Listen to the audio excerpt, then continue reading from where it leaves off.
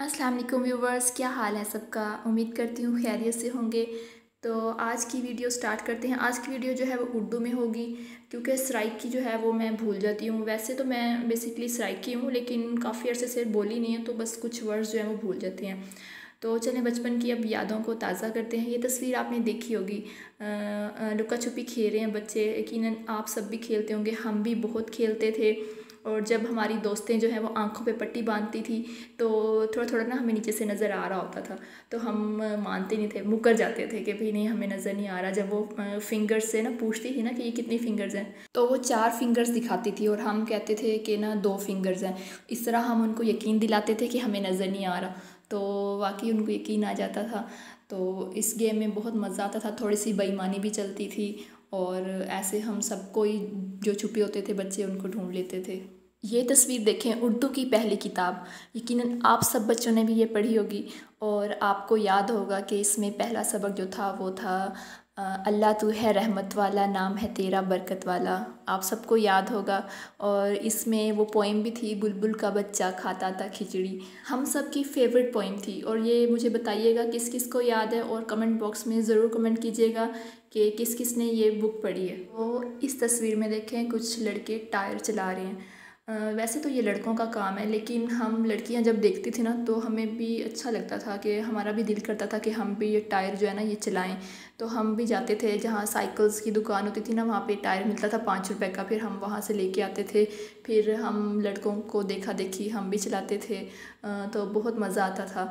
फिर हमारे दिल में ये महसूस होता था, हम ये फ़ील करते थे कि हम जो है ना, किसी से कम नहीं है। इन टायर्स के साथ फिर हम रेस लगाते थे और बहुत ही हमें खुशी होती थी, दिली खुशी और बहुत बहुत ही मज़े के दिन थे वो।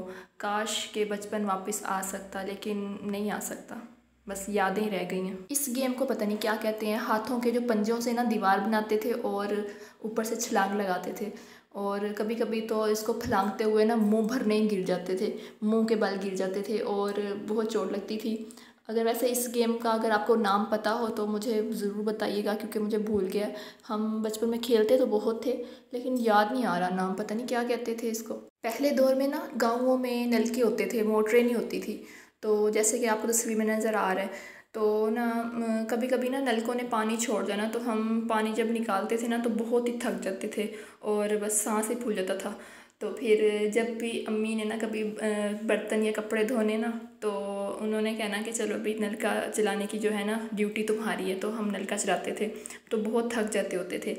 तो सुबह सुबह जब हमने उठना तो नलके ने पानी छोड़ा होना। तो फिर उसको, उसके अंदर जो होती थी ना नलके की जो ऊपर वाली जगह होती थी, उसमें पहले हम एक लोटा पानी का डालते थे।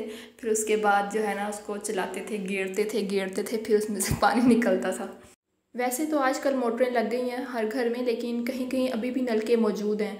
तो मेरी खाला के घर है नलका ना तो बच्चों ने जब देखा ना तो वो बहुत हैरान हो गए कि ये क्या चीज़ है जिसको हाथ से ऐसे गेड़ते हैं तो पानी निकलता है। तो बच्चे बहुत ज़्यादा खुश हुए। बचपन में गाँव की सुबह कुछ ऐसी होती थी कि हम ज़मीन पे बैठ के चाय और पापों का नाश्ता करते होते थे और फिर स्कूल जाते थे। बहुत हसीन दिन थे और बहुत सादा ज़िंदगी थी और लोगों में इतनी चलाकियाँ भी नहीं थी। बहुत मासूम लोग थे उस टाइम के। हाँ तो ये बंटियों का चश्मा किस किस को याद है? किस किस ने खाया है और इसके साथ खेला है? हम तो बहुत खाते थे और खेलते भी थे। हर टाइम आँखों पे चढ़ा के रखते थे। बहुत ही मज़ा आता था। बहुत ही हसीन, खूबसूरत दिन थे वो।